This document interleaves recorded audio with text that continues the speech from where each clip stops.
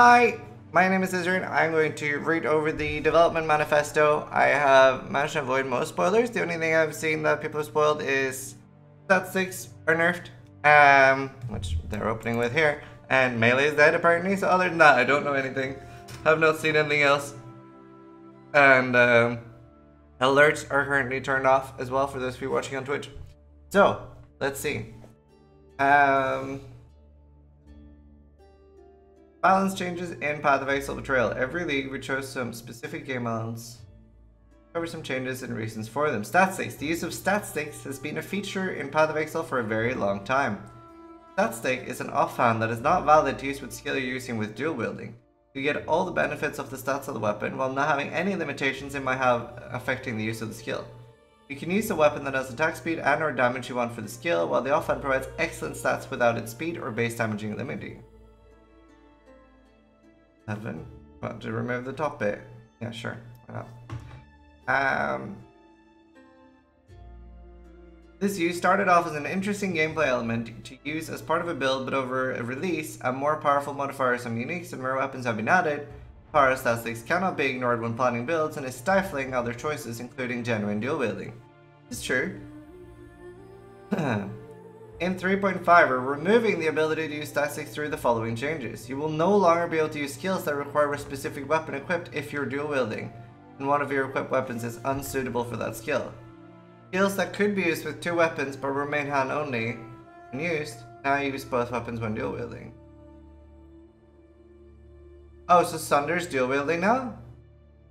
Sunder's actual dual wield? And Leap Slam?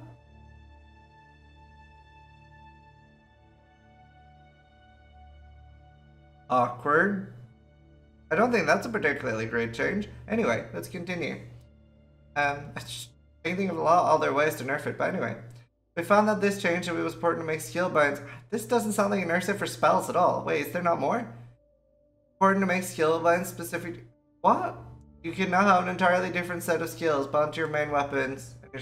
How does this nerf it for spells though? Does that not make it insane for Glacial Cascade and BV still?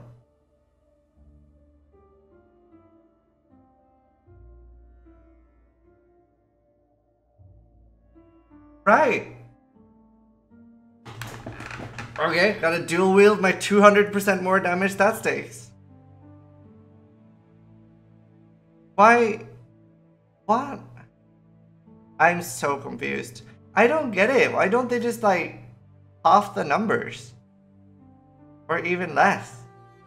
Quad, quad split the numbers like 25% of what they are now. Anyway. Energy shield, that's so weird. I can't really get over that.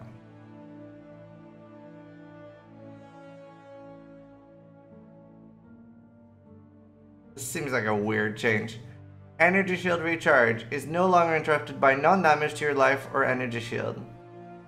For context, yeah, no, this is great. They did talk about this. Uh, Eldritch Battery costs you to 50% less energy shield recharge rate. This change was explored as a way to make it easier for casters to use EB to solve mana issues. One major issue that it doesn't work very well on its own, oh, needing something like Cells to go along with it. While there were concerns that this might introduce issues with other builds, when tested it was justified change that was beneficial for a variety of cases. That is really cool. To further change for Eldritch Battery and the Energy Shield based support builds in general, uh, more flat Energy Shield has been added on the tree. Interesting. That could be really cool. Cap on slowing effects. The total amount that you can slow the expiration of an effect on a character through a time slowing mechanism such as temp is now 75 from all sources. Time slowing effects are a very powerful defensive tool, limiting time slowing to a cap allows us more flexibility in making content as well as providing more options for giving players time slowing effects. Unique rebalance. The patch notes tomorrow will cover a large number of unique item rebalances. That really cool. That is really cool. Um, some of these are numerical changes while others are closer to redesigns. Awesome. Imagine if Headhunter gets nerfed. be hilarious. That would be so funny. People would be so angry. Imagine if we have Legacy Headhunters now, like 7. Um, the following principles were applied in looking at rebalancing unique items. Any item that drops very rarely should be justified in being that hard to find. Many very rare items have been improved, while few remain more uncommon. Oh, this sounds like a Shavs and a Kaom's drop. Kaom's 750 life? Question mark? Unique items that are very Shavs, maybe buffed. Um, unique items that are acquired through very specific high tier bosses, Elder and Shaper, should be balanced upwards where they were not on par. Void Forge buff? Um, definitely Void Forge buff, right? 100%, right? I don't think anyone disputes that. Um, Vo mm, already quite good. Voidwalker's already quite good. It's not used a lot in the current meta, but Voidwalker are good boots. In leagues where like projectiles are used a lot, then Voidwalker is really fucking nice. You get free pierce. So Shimmeron? Nah, Shimmeron's fine. Frostome? Frostome's already fine too, but I wouldn't be surprised to see it buffed. What else? What's dog shit from bosses right now? Yeah, I was just thinking about boss drops right now. Shaper gloves are like used super much right now. The quiver. The quiver is 100% getting buffed. Maybe the melee ring as well. I don't think the spell ring will get buffed. All the Phoenix items. Yeah, Chimera Claw is definitely getting buffed. Hydra Bow getting buffed. 100%. Yeah, the Phoenix weapon. The Elder Gloves, probably. No, Rastome's used a shit ton, dude. I love that item. It's fucking amazing. Super underrated. It's actually really strong.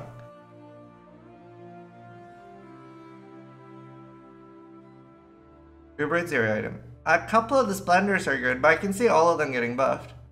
Um... Three Steph? Step? Steph's already good too. Like something not being used a lot doesn't mean it's not great. Have to be OP. Um...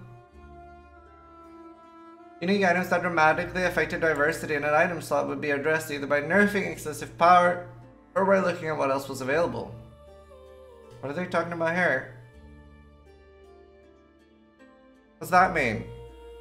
Headhunter? Impulsa? Loreweave? Tombfist? Tombfist, Headhunter, Loreweave, Impulsa. Loreweave's 100% getting nerfed. I would nerf Loreweave. Loreweave's bonkers for how easy it is to get. Loreweave's literally... You know what would be cool? Loreweave should have like a lower version that you got from the rings and then a faded version to what we have now. Like a pretty rare faded version. That would be... That would be a good one in my opinion. Like the current Loreweave is fucking bonkers. For 60 fucking unique rings. 100% should have a faded version though. Like, it's one of the best chests in the game. It's like the easiest chest to get as well. Um, I don't feel like the I don't feel like the current version's OP though. I don't feel like the current version's broken. It's just broken for for how easy it is to get. You know, it's like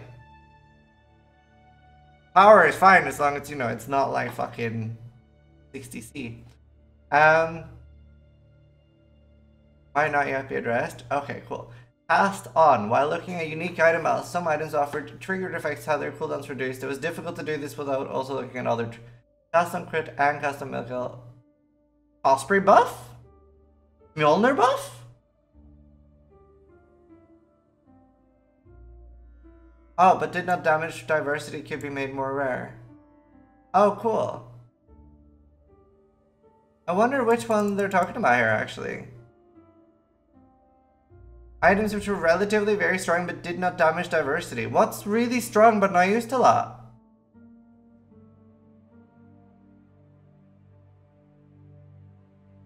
Uh...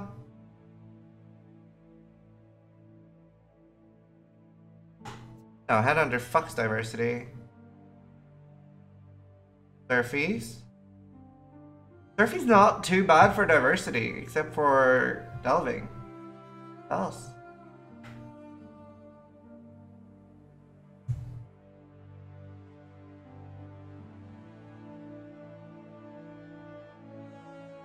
Uh, Tinker's here? Nah. Duffles. Yeah? Skyforth and Vertex? They're not gonna make Skyforth more rare. Are you fucking kidding me right now? Read your sentence, dude. Make Skyforth more rare? Fuck you, Omega Law. Um, so I'm guessing both Cospri's and Mjolnir are getting buffed, but not... I wonder, are they going to be even faster than Cast on Crit? Abras is already super rare too. Chrome's already super rare. Ventures? Yeah, wouldn't be surprised if Ventures was more rare. Poet's Pen should be rare. I think Poet's Pen is more likely to get nerfed though. Anyway, let's continue. Archetypes. One of the approaches we use in patching development skills and making changes around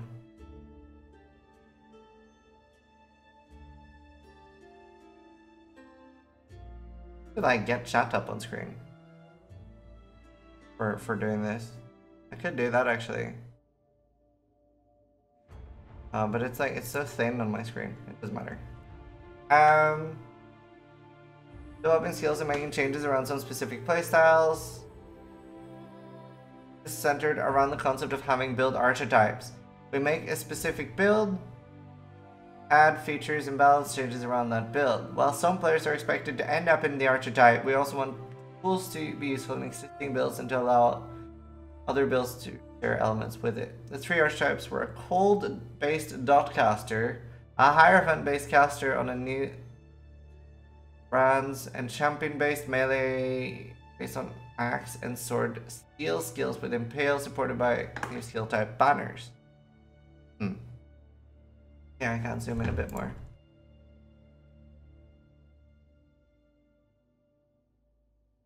Cold-based casters has led to the new skill Winter Orb, rework of Arctic Breath and Ice Spear and adjustments to Ice Nova and Vortex. The new... I fucking hate Vortex. Stuff like that, like, unless they make it kind of broken OP, it's like never going to be worth bothering with it. Like, a skill like Vortex, by definition, needs to be overpowered, in my opinion, to work because it's such a hassle. Even if it's like 10% better, you're still going to use another skill because, you know, you have to like Frostbolt and then Vortex. Like, if you want to use it that way, I mean. Anyway, this caster archetype has led to a new number of changes on items, the non-passive tree, or the passive tree and the occultist tree in particular. Added cold damage over time multiplier, non-ailment chaos damage on new modified fighters. On the passive tree and on the occultist. The and various... I'm already seeing Whispering Ice occultists. I'm already seeing it. Yeah, I'll read the meme patch notes too. As well as the new brand skill, the archetype based on them has led to changes on the Hierophant and already had knock-on effects for totems. A number of totem nodes now also offer benefits for brands.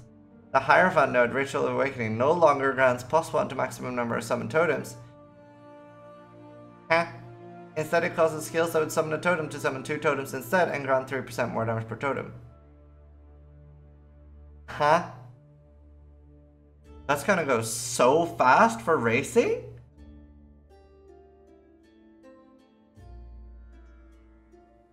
That's gonna be so fast for racing. That's the first totem node.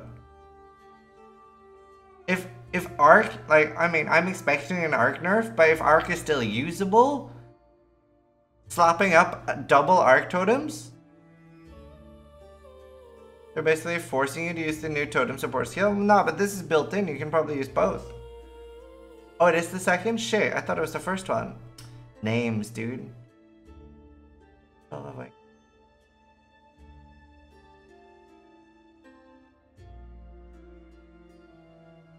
You read it wrong? And you read it wrong? What? How? It no longer runs plus one maximum summon totems, instead it now causes that would summon a totem to summon two totems instead. How am I reading it wrong? Instead, instead of giving plus one to max, it summons two now. How am I reading it wrong? Please explain.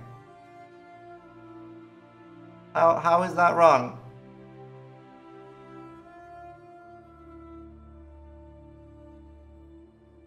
I'm confused.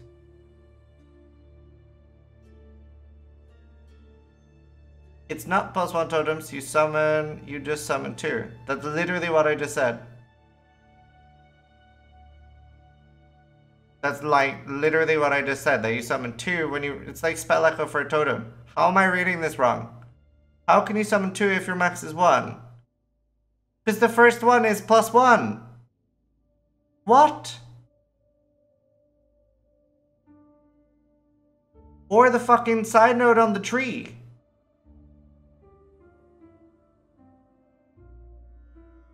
That. Anyway, moving on. So I am reading it right. Okay, good to know. Additional totems are available from other sources, and players will have a number of options for totem builds as well as being able to explore the new brand skills. Oh. The champion now has a strong impale build, has changes to support it. The Chthonic Slam has been completely annihilated and nobody will be using it, putting any worry about that to rest. While Shattering, Steel Lancing, Steel, War Banner, and Dread Banner might be useful skills. Um, but what about self-casting? Oh, I should have like memed up the entire fucking thing like I did last time. That was fun. Yeah. Uh, I don't know, Lemley. But what about self-casting? In the last few days, the community has been very keen for news for casters who don't rely on totems and triggers, which is often referred to as self-casting. Not to worry, there is no buffs coming. Self-casting has not been a specific focus on the set balance for 3.5 and you don't want to rush to, to try to rush in further big changes without extensive testing. Betrayal does include some changes for various things associated with self-casting. We're really just saying this. But we have designed the new cold skills to be aimed at self-casters, for example. However, in practice, it is probably completely shit and nobody will end up using it except snowflakes. We are sure you'll find interesting build choices of many kinds in Betrayal, there are already some balance changes planned underway for 3.6, and we expect to keep a good eye on gameplay during Betrayal to see how our past adjustment. Please don't flame us too much on Reddit. Things will happen in the future. Anyway, hopefully people enjoyed the manifesto readings. Try to die less than I do.